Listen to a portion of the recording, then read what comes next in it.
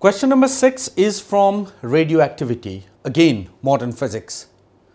Now it says a radioactive material having half-life 18 days has radiation 64 times the permissible. What is the minimum number of days after which permissible limit is reached?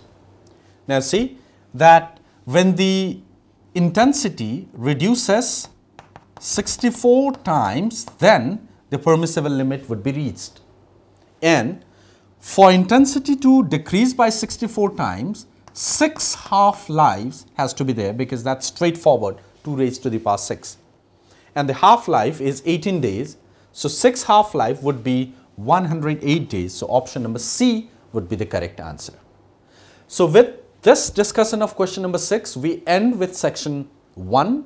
Now we'll go to section 2.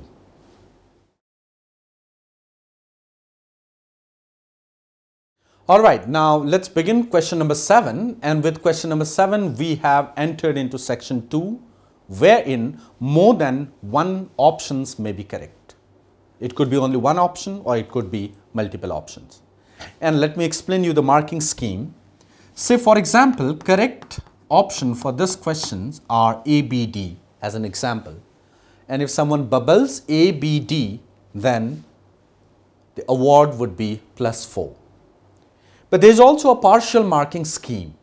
Out of ABD, someone bubbles only AB. So these are two options out of the correct one. Then now plus 1 for this, plus 1 for this. But if among this one incorrect option is bubbled, then the whole thing would go into negative marking of minus 2 and for no attempt there would be 0 marks. So this is quite an interesting game where you have to have strong confidence before you do. And this question is with experimental physics, the time period in this way. This experiment or this data may be collected from anywhere. You might be knowing that if there is a spherical ball which is rolling on a bowl, it will be having this time period. Capital R is this, small r is this, and time period is, you know, measured in this different way by stopwatch whose least count is this much. Now we need to first verify error in small r. This is small r, so the error in small r would be 1 by 10 into 100 percent, that would be 10 percent. Now let's go to error in time period. For time period, first of all we need to calculate the mean value. So T mean would be 0.52 plus 0.56 plus 0.57 plus 0.54 plus 0.59. These are the 5 ensembles divided by 5.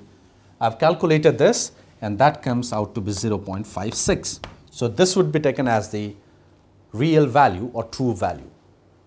But now we need the mean absolute error. It is a mean absolute error.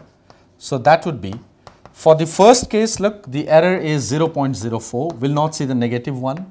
For the second case is 0. For the third is 0.01. For the fourth is 0.02. And for the fifth is, you see, 0.03 divided by 5 when you do, that comes out to be 0.02. Now, this is the mean absolute error, this is the time period, delta t by t into 100 percent when you do, you would land up with this thing. Now, let us go to calculate the fourth option because C is already proven to be incorrect. This comes, we need to see G. So, G would be quite obviously 4 pi square into 7 into r minus r divided by 5t, that would be the situation. And now 5t square, I suppose. That's the case. You can see here, this is 7r minus r. The 5 would come there, g is there, 4 pi square by t square, fine. And delta g by g would be delta r minus r by r minus r plus 2 delta t by t into 100 percent here you need to be careful. This one is something like this say. The difference in the error is added. So that would be 2 by r minus r would be 50 plus 2 into 3.57 you see into 100 percent it comes and that would give you 11 percent so option number D would also be the correct one. Here you have to be careful on this point quantity is subtracted but the absolute error is added.